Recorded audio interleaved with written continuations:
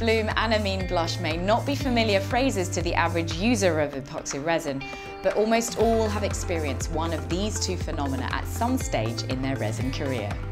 Amine bloom and blush are both surface defects which negatively affect the final finish of epoxy resin surfaces. And because we always want our work to look fantastic, it's important to eliminate the chance of this occurring in your work. Out of the two, amine blush is the most common. Blush is caused by a reaction between the hardener component, or amine, and moisture and carbon dioxide in the air. Amine blush on a final piece of epoxy work looks like a textured spider web pattern. Amine bloom is similar in nature and is the result of surface moisture, causing the migration of the harder component. This results in a sticky, oily patch on the surface of the epoxy.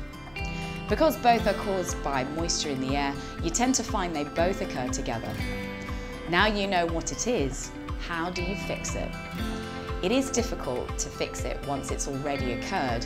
It is possible to scrub and clean the sticky amine bloom using soapy water or isopropyl alcohol and a scrubbing brush, but the result will not be perfect. Ideally, we want to stop the cause of both bloom and blush in the first instance.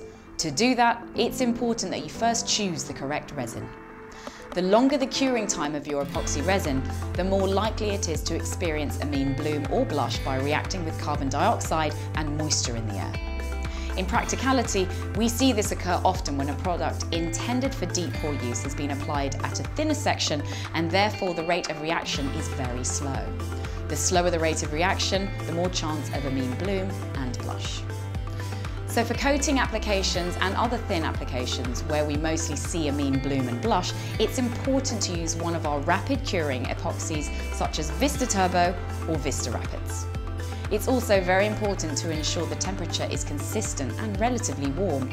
This will keep the rate of reaction high and will also prevent the risk of condensation caused by the surface of the piece of work falling below the dew point.